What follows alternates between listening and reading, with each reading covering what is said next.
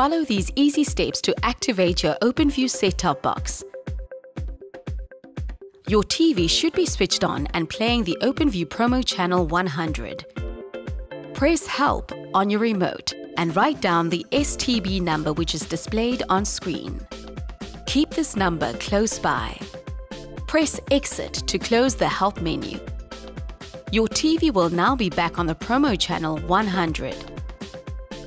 Dial the number on the bottom right-hand corner of your screen using a cell phone and follow the prompts.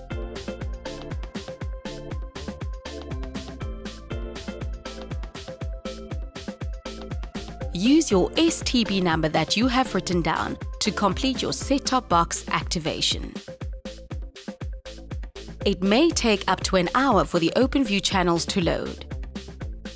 Once the channels have loaded, you are ready to start browsing.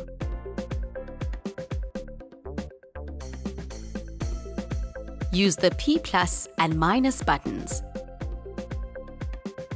or the P up and P down buttons on your remote. You have now activated your OpenView set-top box.